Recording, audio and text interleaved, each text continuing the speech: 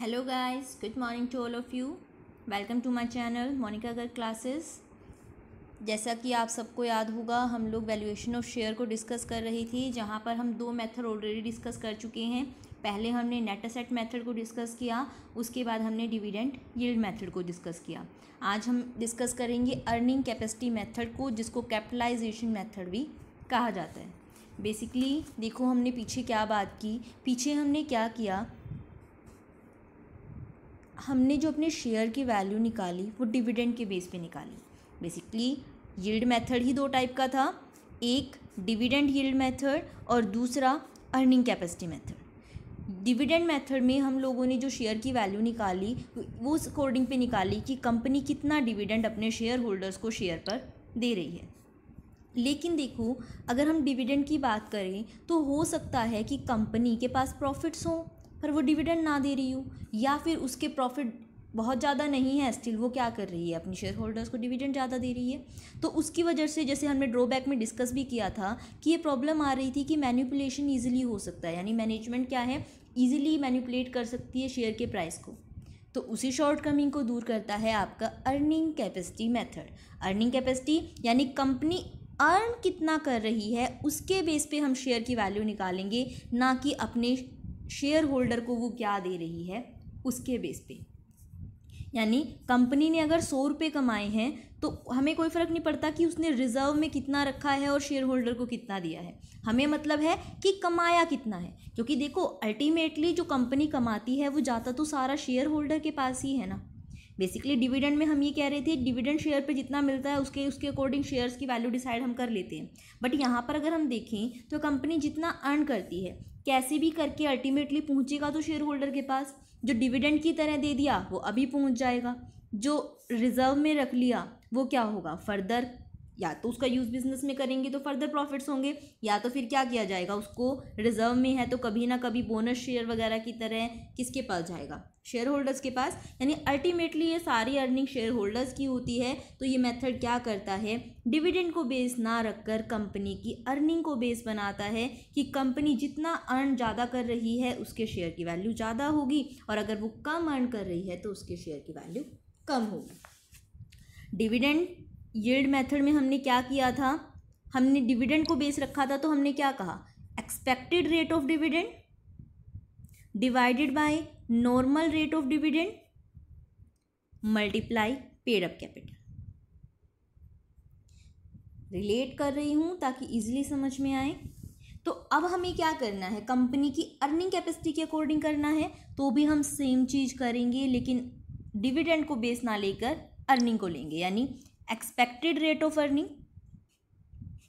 कि हमें कितना लग रहा है कि फ्यूचर में कंपनी अर्न करेगी divided by normal rate of earning यानी नॉर्मली इंडस्ट्री कल भी हमने बात की थी, यानी कुछ फर्म्स होती हैं और उनके ग्रुप को इंडस्ट्री बोला जाता है, यानी इलेक्ट्रॉनिक्स एक इंडस्ट्री है और उसमें जो भी काम कर रही हैं एमआई है सोनी है, ये सारे की सारी क्या हैं फर्म्स हैं। तो बेसिकली नॉर्मल रेट क्या होगी, जो पूरी इंडस्ट्री लगभग एवरेजली अर्न कर रही है। तो एक्सपेक्टेड रेट ऑफ़ अर्निंग को हम डिवाइड कर देंगे नॉर्मल रेट ऑफ़ अर्निंग से, और मल्टीप्लाई कर देंगे paid up value of share से तो हमें पता लग जाएगी क्या शेयर की value as per earning method यानी हमें क्या क्या चाहिएगा शेयर की वैल्यू निकालने के लिए? एक एक्सपेक्टेड रेट ऑफ़ अर्निंग और दूसरा normal rate of earning and thirdly paid up value of share तो देखो paid up value of share question में गिवन होती है ऑलवेज कि कंपनी के शेयर्स पे कितना पैसा आया हुआ है। नॉर्मल रेट ऑफ़ अर्निंग भी आपको ऑलवेज क्वेश्चन में दी जाएगी कि कितनी जो है industry as a average earn करती है। सेम इंडस्ट्री जिसमें आप बना रहे हो। क्वेश्चन आया एक्सपेक्टेड रेट ऑफ़ अर्निंग का कि ये कैसे निकाली जाएगी। और इतना हमें पता है कि अर्निंग किस पे होती है? इन्वेस्टमेंट पे होती है, यानी जैसे आप एक्सपेक्टेड रेट ऑफ़ डिविडेंड थी, वो कैसे निकाल रहे थे? कि कंपनी के पास शेयर होल्डर्स के लिए क्या बचा, उसको डिवाइड कर देती थी सारे शेयर होल्डर्स में पेड अप कैपिटल के अकॉर्डिंग बट यहाँ पर तो हमें अर्निंग की निकालनी है ना एक्सपेक्टेड रेट तो अर्निंग किस पे होती है? कैपिटल पे होती है? तो यहाँ पर हमें कैपिटल के अकॉर्डिंग निकालना पड़ेगा। तो एक्सपेक्टेड रेट ऑफ़ अर्निंग क्या होगी? ऊपर लेंगे हम कि हमें फ्यूचर में कितना लग रहा है कि हमारे कंपनी प्रॉफिट लेगी, यानी estimated future earning divided by me capital employed multiply 100 यानी कंपनी को फ्यूचर में कितना प्रॉफिट होने के चांसेस हैं, उसके लिए कंपनी कितना इन्वेस्ट लगा रही है? से कि कंपनी को फ्यूचर में एक लाख के प्रॉफिट होने के चांसेस हैं, जिसके लिए वो पाँच लाख की कैपिटल लगा रही है। कैपिटल पाँच लाख की लगाई, प्रॉफिट एक लाख के हो रहे हैं। इसका मतलब अगर इसको कैलकुलेट करोगे, ये आएगा ट्वेंटी परसेंट, यानी कंपनी जितना इन्वेस्ट करती है, उसका बीस परसेंट कमाती है। तो शेयर की वैल्यू भी क्या होगी? बीस परसेंट ज़्यादा होगी किससे? जितनी की उनकी ओरिजिनल वैल्यू होगी। बेसिकली वैसे हम ये नहीं करेंगे। यहाँ से हमें सिर्फ़ पता चलेगी कि कंपनी की अर्निंग कैपेसिटी क्या है। अर्निंग कैपेसिटी पता लग गई, उसको फिर हम उस कंपनी की मतलब उस इंडस्ट्री की जो नॉर्मल रेट है, से वो दस है। ठीक है नॉर्मली इंडस्ट्री दस परसेंट कमाती है कि जितना लगाती है उसका दस परसेंट कमाती है। हमारी फर्म क्या कर रही है? जितना लगा रही है उसका बीस परसेंट कमा रही है। यानी हमारी रेट क्या है? डबल है तो हमारे शेयर की वैल्यू भी क्या होगी? डबल होगी। यानी हमें करना क्या है बेसिकली हमें एक्सपेक्टेड रेट ऑफ़ अर्निंग को नॉर्मल रेट ऑफ़ अर्निंग से डिवाइड करना है और मल्टीप्लाई करना है पेड अप वैल्यू से। नॉर्मल रेट और पेड अप वैल्यू हमें गिवन होगी। एक्सपेक्टेड रेट ऑफ़ अर्निंग निकालने के लिए एस्टिमेटेड फ्यूचर के प्रॉफिट कितने होंगे, उसको डिवाइड करेंगे कैपिटल एम्प्लॉयड से और मल्टीप्लाई करेंगे हंड्रेड से तो हमें पता लग जाएगा कि कितने परसेंट हमें इन्वेस्टमेंट पर रिटर्न मिलती है। फिर उसको डिवाइड करेंगे हम नॉर्मल इंडस्ट्री की रेट से और मल्टीप्लाई करेंगे शेयर की पेड अप वैल्यू को। यहाँ पर मैंने माना एक शेयर सौ रुपये का है तो उस अकॉर्डिंग हमारे शेयर की वैल्यू मार्केट में टू हंड्रेड होगी। अब देखो यहाँ से अब दो क्वेश्चन और राइज हो गए कि एस्टिमेटेड फ्यूचर अर्निंग कैसे निकालेंगे और कैपिटल एम्प्लॉयड कैसे निकाली जाएगी। पहले बात कर लेते हैं कैपिटल एम्प्लॉयड की। यानी हमने बिज़नेस में कितनी कैपिटल इन्वेस्ट की है। बेसिकली कंपनी की कैपिटल में हम कभी भी शॉर्ट टर्म फंड्स को नहीं लेते। जो कैपिटल कौन सी मानी जाती है? अगर हम नॉर्मल बात करें तो आपकी जो इक्विटी की कैपिटल है प्लस प्रेफरेंस शेयर की कैपिटल है प्लस जो भी आपकी रिजर्व्स पड़ी हैं प्लस जो भी आपके पास लॉन्ग टर्म लाइबिलिटी है, यानी डिवेंचर्स वगैरह हैं या लोन है, उनको हम मानते हैं बेसिकली कैपिटल एम्प्लॉय बट इस मेथड से नहीं निकालेंगे हम कैपिटल एम्प्लॉयड कैपिटल एम्प्लॉयड निकालने के लिए फॉर्मूला क्या यूज़ किया जाएगा कि ये सारी असेट छोड़ लाइबिलिटीज़ छोड़कर बाकी जितनी भी लाइबिलिटीज़ हैं, उनको किसमें से लेस कर दिया जाएगा? टोटल असेट्स में यानी हम टोटल असेट्स लेंगे, उसमें से लेस कर देंगे करंट लाइबिलिटी को तो हमारे पास जो बचेगी, वो होगी हमारी कैपिटल एम्प्लॉयड पर देखो, इतना भी सिंपल नहीं है। ये असेट्स कौन सी लेनी है, कौन सी नहीं लेनी है, ये ध्यान रखना पड़ेगा। तो आ जाते हैं इसी चीज़ पर। देखो फर्स्टली जो हम नॉर्मल बात करते हैं, यानी आप कोई भी फिक्टिशियस असेट नहीं लोगे।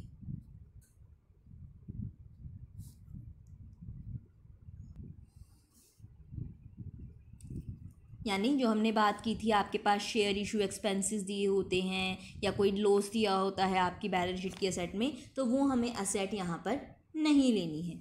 दूसरी बात हम बात कर रहे हैं अपने शेयर की वैल्यू की। हम लोग बात कर रहे हैं कि सेम टाइप की इंडस्ट्री में रेट क्या है और हमारी क्या है। तो इसीलिए हमें अपने ऑपरेटिंग प्रॉफिट्स की बात करनी है, यानी जो हमारे बिज़नेस में मेन हमारा जो काम है, उससे रिलेटेड हमने इन्वेस्टमेंट क्या की हुई है।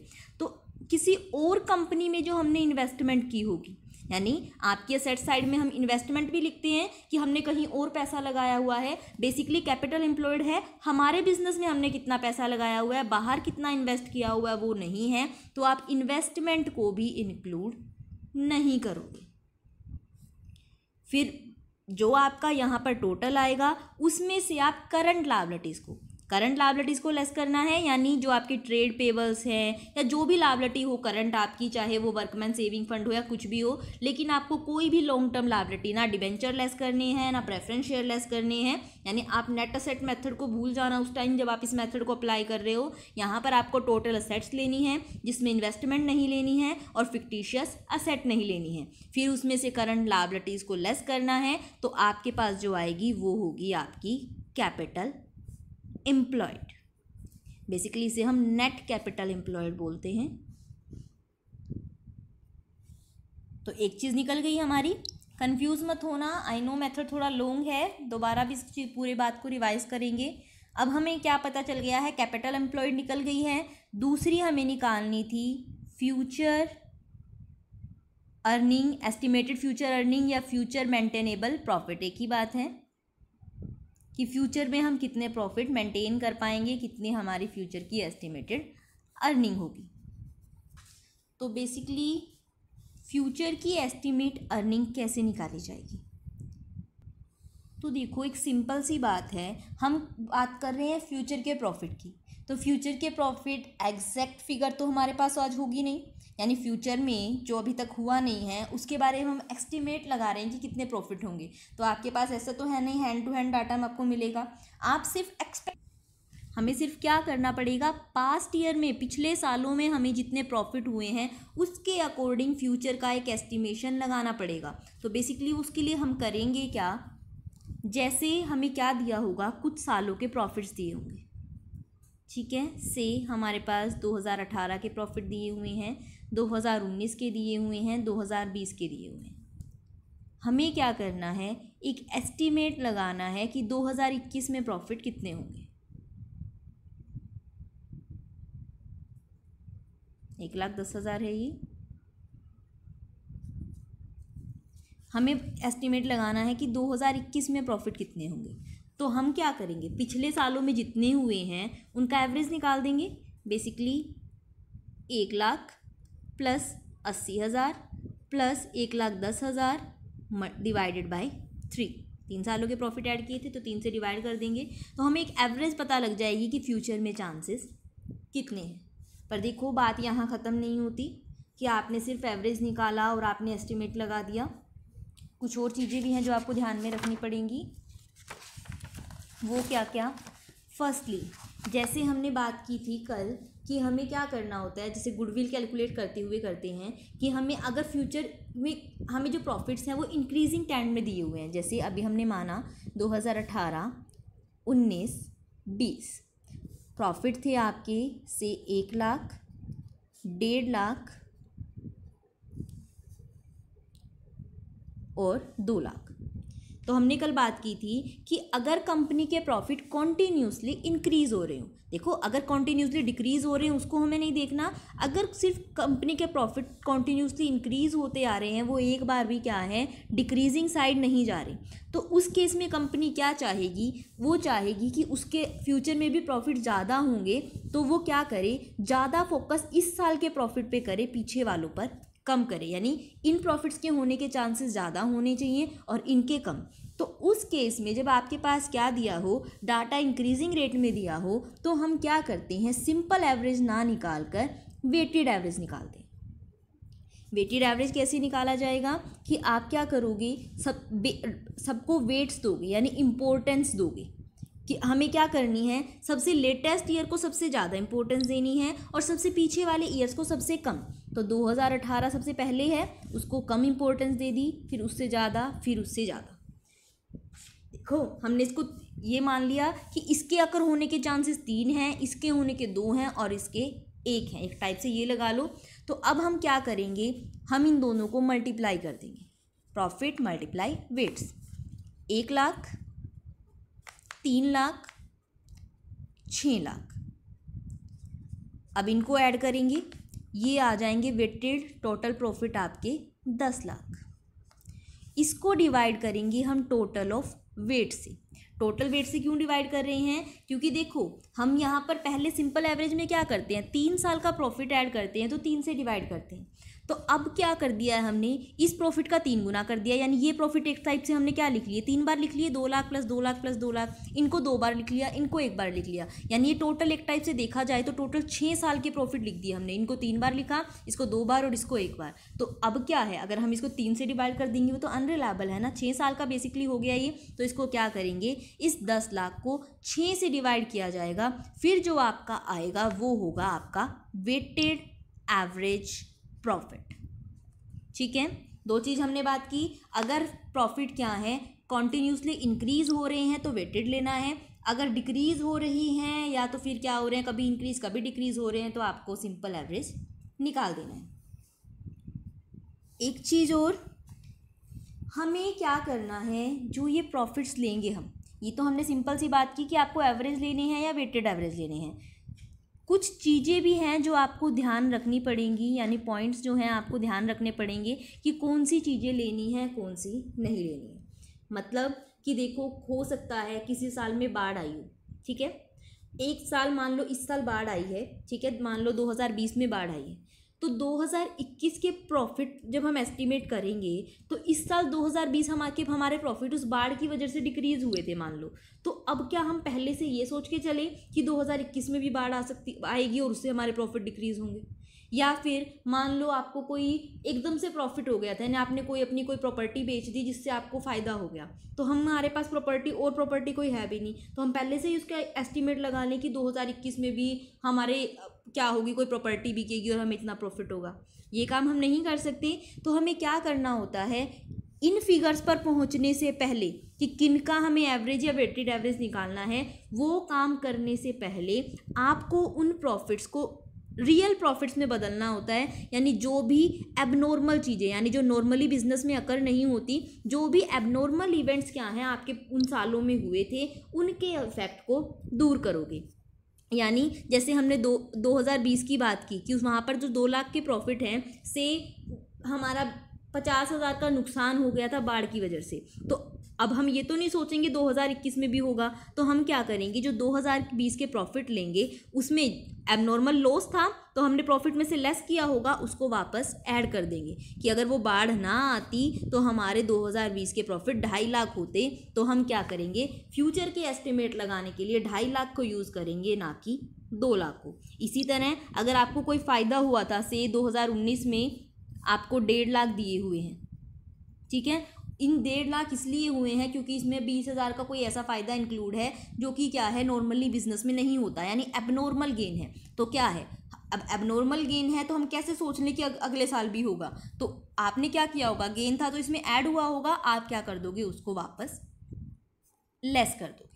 यानी हमें पहले प्रॉफिट्स को जब इन प्रॉफिट्स पे पहुँचेंगे तो उसके लिए हमें क्या करना पड़ेगा? पहले उन्हें एडजस्ट करना पड़ेगा। कोई भी एबनॉर्मल इवेंट उसके अंदर इंक्लूड नहीं होगा। इसके साथ साथ अगर आपको कोई फ्यूचर का एस्टिमेट पहले से दिया हुआ है, मान लो आपको बोल दिया कि फ्यूचर में क्या होंगे? आपके एक्सपेंसेस पर एनम चार हज़ार ज़्यादा होंगे। से हमने कह दिया कि हम आगे से इंश्योरेंस रखेंगे और इंश्योरेंस की वजह से हमारा चार हज़ार का खर्चा साल का एक्स्ट्रा होगा। तो अब हमें फ्यूचर के एस्टिमेट लगाने हैं तो फ्यूचर की जो हमें प्रडिक्शन दी हुई है, उनको भी कंसीडर हमें करना पड़ेगा। यानी फिर हम क्या करेंगे? जैसे हमें बोल दिया कि चार हज़ार का खर्चा और होगा तो दो ऑप्शन है। या तो हर साल के प्रॉफिट में से चार चार हज़ार लेस कर दो, क्योंकि तो पूरे पे खर्चा होने वाला है, वरना सिंपल सी कंसेप्ट है, यहाँ पे मत करो। जो आपका एवरेज निकल के आए, उसमें से डायरेक्ट चार हज़ार लेस कर दो।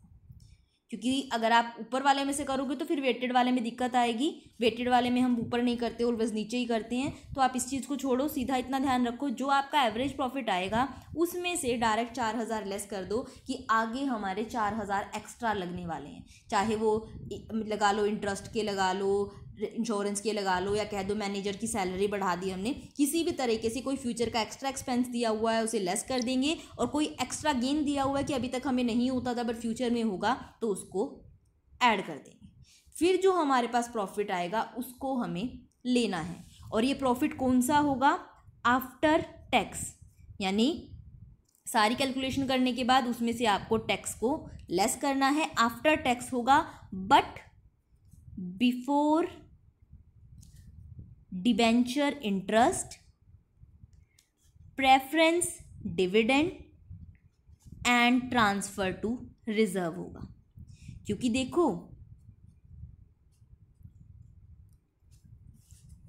हमने डिबेंचर्स, प्रेफरेंस शेयर्स ये वगैरह या जो रिज़र्व हैं, ये सारी चीज़ें क्या हैं? आपकी कैपिटल एम्प्लॉयड से रिलेटेड थी।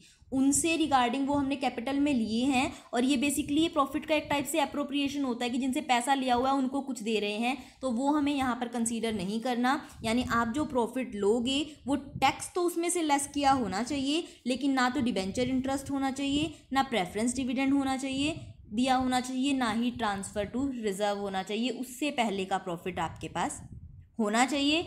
और हमने एक और चीज़ की थी इन्वेस्टमेंट को कैपिटल एम्प्लॉयड में इंक्लूड नहीं किया था तो उससे जो इनकम आएगी, उसको भी इंक्लूड नहीं करेंगे। तो जो इन्वेस्टमेंट की इनकम है, उसको भी लेस किया जाएगा आपकी हर साल के प्रॉफिट से, या कह लो डायरेक्ट आपके एवरेज प्रॉफिट से।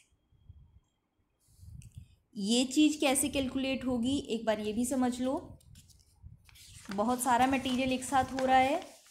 कोई बात नहीं क्वेश्चन करेंगे, तब आपको ये चीज़ बहुत सिंपल लगेगी। अब इसे सुनने में इतना सारा लग रहा है। नॉर्मली हम करते क्या हैं? पहले हमारे पास होता है प्रॉफिट बिफोर टैक्स एक फिगर होगी। उसके बाद डिबेंचर का इंटरेस्ट तो क्या होता है? टैक्स डिडक्टिबल होता है, यानी पहले डिबेंचर को इंटरेस्ट देते हैं, फिर हम टैक्स पे करते हैं।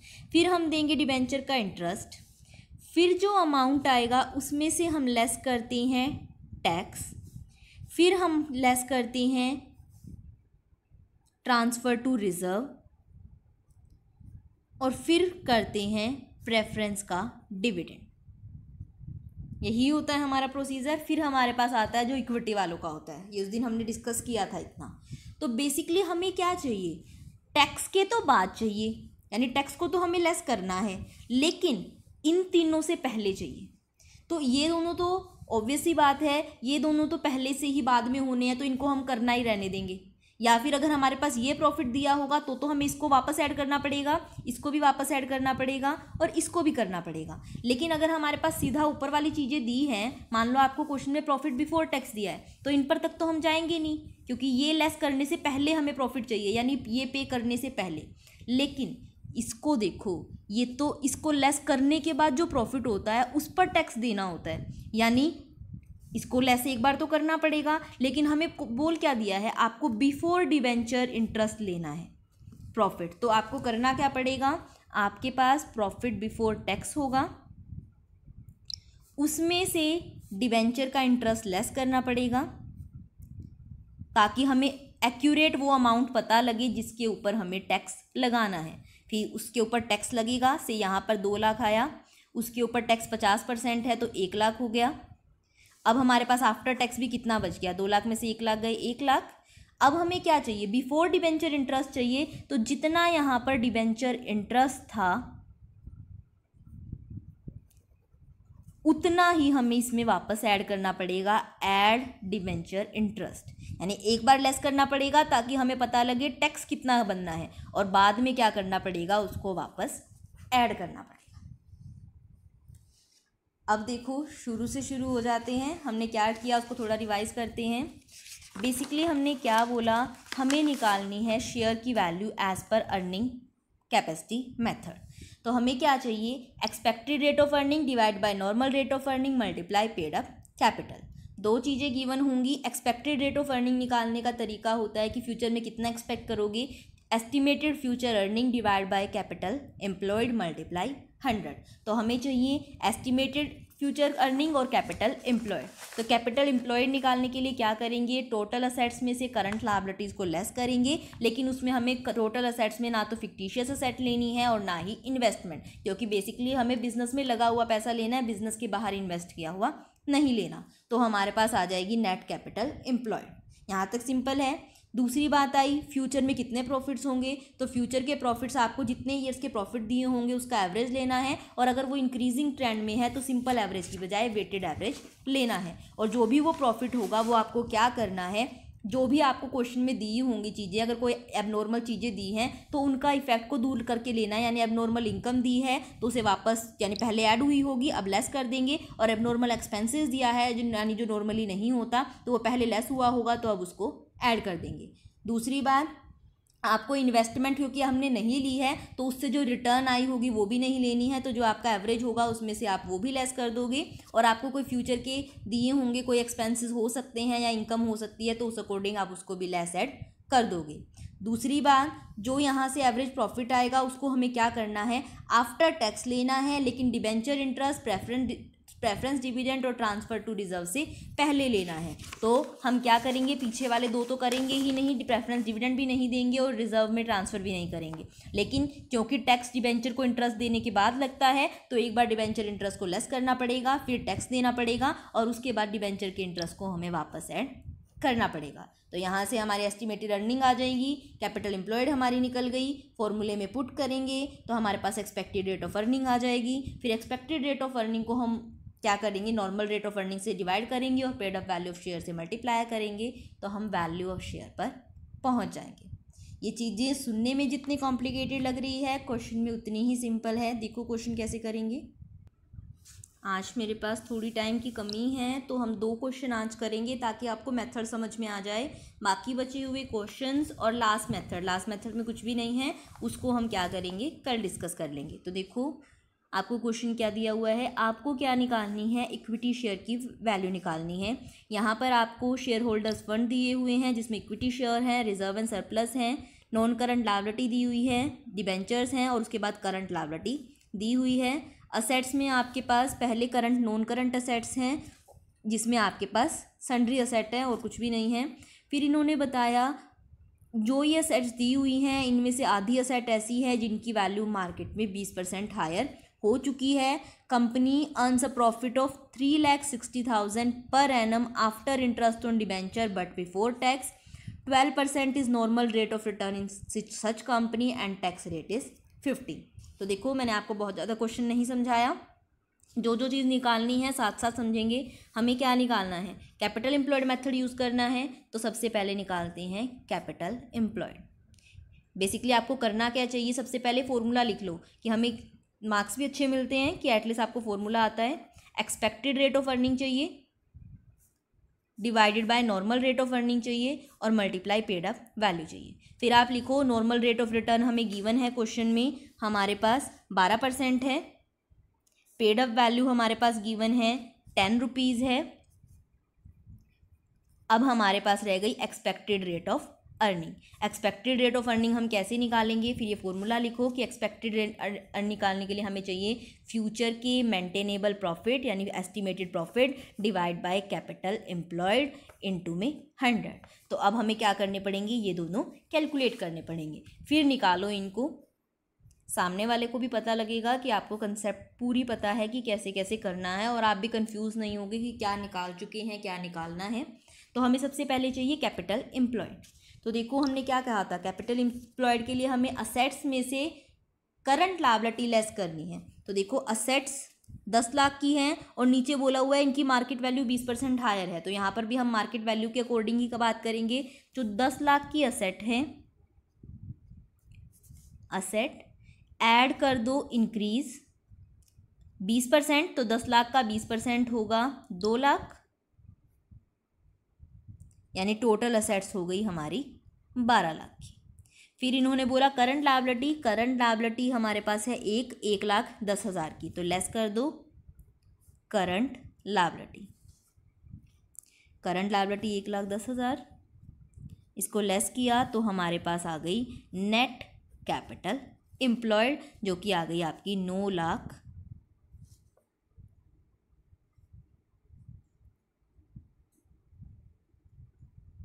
एक सेकेंड। एक मिस्टेक कर दी हमने। हमें बोला गया था market value of half asset is twenty percent higher हमने पूरी असेट का कर दिया। बेसिकली हमारे पास दस लाख की असेट है। टोटल दस लाख की थी। इंक्रीज़ कितनी हुई थी? हाफ़ हाफ़ यानी पाँच लाख की असेट्स में बीस परसेंट अप्रिसिएशन हो गया है। यानी एक लाख से वैल्यू बढ़ गई हमने टोटल असेट का बीस परसेंट निकाल दिया, जबकि इन्होंने बोला आधी ही असेट की मार्केट वैल्यू इंक्रीज हुई है। तो ये आ गई थी हमारे पास ग्यारह लाख। फिर करंट लाइबिलिटी हमें एक लाख दस हज़ार की दी है, वो लेस किया तो आ गई हमारे पास नौ लाख नब्बे हज़ार। ये आ गई हमारी कैपिटल एम्प्लॉयड देखो, कुछ भी नहीं था इसमें, सिर्फ़ वो सारी चीज़ें एक साथ दिख रही थी तो इसलिए लग रहा था जो दिया हुआ है, उसके अकॉर्डिंग हमें सिर्फ़ इतना ध्यान रखना था कि टोटल असेट्स लेनी है मार्केट वैल्यू पे और उसमें से करंट लाइबिलिटीज़ लेस करनी है। इन्वेस्टमेंट नहीं लेनी है, यहाँ पर तो हमें इन्वेस्टमेंट दी नहीं है, लेकिन बस ये चीज़ ध्यान रखनी है कि सारी असेट्स लेनी है बट फिक्टिशियस असेट नहीं लेनी है, वो तो चलो आपको ध्यान रह जाएगा कि नेट असेट मेथड में भी नहीं लेते हैं, लेकिन आपको ध्यान रखना है इन्वेस्टमेंट नहीं लेनी है। कैपिटल एम्प्लॉय निकल गई हमारी नौ लाख नब्बे हज़ार, अब हमें चाहिए फ्यूचर मेंटेनेबल प्रॉफिट्स तो देखो फ्यूचर के प्रॉफिट्स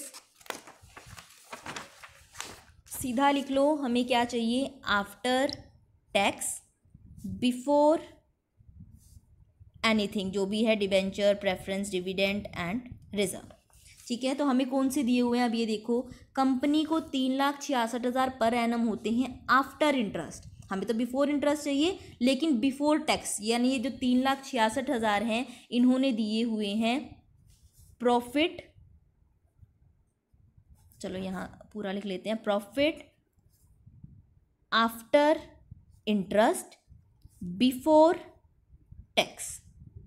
दिए हुए हैं तीन लाख छियासठ हज़ार। डिवेंचर इंटरेस्ट ऑलरेडी लेस है तो हमने ध्यान रखना अपना तरीका डिवेंचर इंटरेस्ट के बाद नंबर आता है टैक्स का। तो लेस कर दो, टैक्स। टैक्स हमें बोला हुआ है फिफ्टी परसेंट एज्यूम करना है, यानी फिफ्टी परसेंट लगा देंगे तीन लाख छियासठ हज़ार का, three lakh sixty six thousand का। फिफ्टी परसेंट, ये आ जाएगा one lakh eighty three thousand तो profit after tax after tax and after interest after debenture interest हमारा आ गया, इसमें से लेस करेंगे एक लाख तिरासी हज़ार. अब हमें आफ्टर टैक्स चाहिए था, ये चीज़ तो कंडीशन होगी, लेकिन बिफोर डिबेंचर इंटरेस्ट चाहिए। सारी चीज़ साथ साथ लिख के, चलो कन्फ्यूज़ नहीं होगी कि पहले ये प्रॉफिट है आफ्टर इंटरेस्ट है बिफोर टैक्स है। इसमें से टैक्स लेस कर दिया तो अब ये profit after tax and after debenture interest हो गया। लेकिन हमें ये बिफोर वाला चाहिए तो अब क्या कर देंगे? ऐड कर देंगे इसमें दोबारा फिर फिर डिबेंचर का इंटरेस्ट अब डिबेंचर का इंटरेस्ट कितना है, हमें बताया नहीं हुआ तो हमें खुद निकालना पड़ेगा। बेसिकली डिबेंचर क्या है? डेढ़ लाख के हैं, दस परसेंट उनकी रेट है, इसका मतलब डेढ़ लाख का दस परसेंट हो गया पंद्रह हज़ार। पंद्रह हज़ार वापस ऐड कर दो, यानी एक लाख अठानवे हज़ार, ये हो गई हमारी फ्यूचर की एस्टिमेटेड अर्निंग अब फ्यूचर की एस्टिमेटेड अर्निंग को नौ लाख नब्बे हज़ार हमारी कैपिटल एम्प्लॉयड आई एम्प्लॉयड आई थी, उससे डिवाइड किया और हंड्रेड से मल्टीप्लाई किया। तो हमारे पास इसको कैलकुलेट करोगे, आपका आएगा बीस परसेंट। यानी फ्यूचर की अर्निंग हमारी एस्टिमेटेड है बीस परसेंट। फ्यूचर की एस्टिमेटेड अर्निंग को बुक में हमें जो नॉर्मल दी हुई थी वो बारह दी हुई थी। नॉर्मल से डिवाइड किया multiply paid up value paid up value आपकी दस थी। तो ये आ गई टू हंड्रेड बाई ट्वेल्व यानी sixteen point six seven rupees यानी सोलह रुपये सतासठ पैसे है पर शेयर वैल्यू सिंपल सा किया टोटल असेट्स में से करंट लाइबिलिटी लेस की, फिर जो प्रॉफिट आफ्टर टैक्स और बिफोर डिवेंचर इंटरेस्ट चाहिए थे, उनको लिखा कि हमारे पास आफ्टर इंटरेस्ट है बिफोर टैक्स है तो अब हमें टैक्स को लेस करना है, फिर हमारे पास प्रॉफिट आ गए after tax and after debenture interest उसमें डिवेंचर इंटरेस्ट वापस ऐड कर दिया तो हमारे पास आ गए profit after tax but before debenture interest I hope question समझ में आया होगा। एक क्वेश्चन और देखो। इस क्वेश्चन के बाद बची कुची कन्फ्यूज़न भी दूर हो जाएगी। आपको बैलेंस शीट दी हुई है माउंटेन सिल्क लिमिटेड की। देखो क्या क्या है। इक्विटी शेयर कैपिटल है रिजर्व्स हैं कुछ। उसके बाद ट्रेड पेबल्स हैं एम्प्लॉय सेविंग फंड है प्रोविज़न फॉर टैक्सेशन है। असेट्स में आपके पास फिक्स असेट्स दी हुई हैं विच आपके पास फिक्स असेट्स दी हुई हैं डेप्रिसिएशन है जिसके ऊपर इन्वेंट्री है ट्रेड रिसीवेबल्स हैं कैश हैं एंड शेयर इशू एक्सपेंसेस हैं। नीचे लिखा है, जितनी भी असेट्स हैं वो बुक वैल्यू पे ही हैं except fix asset which on recent valuation are nine lakh sixty thousand यानी जो फिक्स असेट हैं, उनकी रिसेंट वैल्यू क्या है? चार लाख साठ हज़ार की बजाय नौ लाख साठ हज़ार है। Profit after tax for the last three years after tax बोला इन्होंने कि प्रॉफिट तीन साल टैक्स तीन साल के दिए हुए हैं आपको। आफ्टर टैक्स तीन लाख, दो लाख साठ हज़ार और तीन लाख दस हज़ार। The publish market price of a share of a company doing similar business यानी जो मार्केट प्राइस है, उस कंपनी का जिसका बिज़नेस क्या है, हमसे सिमिलर है, लेकिन हमसे चार गुना बड़ा है पेड अप वैल्यू है उसकी, वो छत्तीस परसेंट डिविडेंड दे रही है। देखो नॉर्मल रेट ऑफ़ डिविडेंड इन्होंने हमें हम यहाँ पर डायरेक्ट नहीं दी, इन्होंने क्या बोल दिया कि जो हमसे सिमिलर कंपनी है, लेकिन वो हमसे साइज़ में चार गुना बड़ी है, वो छत्तीस परसेंट दे रही है। तो चार गुना वाली छत्तीस परसेंट दे रही है तो हमारे लिए नॉर्मल रेट कितनी हो गई? छत्तीस बटे चार यानी नाइन परसेंट यानी चार गुना बड़ी छत्तीस परसेंट दे रही है, यानी इसके फोर्थ साइज़ का हमारा होगा नॉर्मल रेट ऑफ़ रिटर्न नो परसेंट। और आपको क्या करनी है? नेट कैपिटल एम्प्लॉयड बेसिस पे शेयर की वैल्यू निकालनी है। तो देखो, वही सब लिखोगे, उसके बाद हमें क्या चाहिएगी? कैपिटल एम्प्लॉयड कैपिटल एम्प्लॉयड के लिए असेट्स लो फिक्स असेट्स की वैल्यू नौ लाख साठ हज़ार है, वो लेंगे।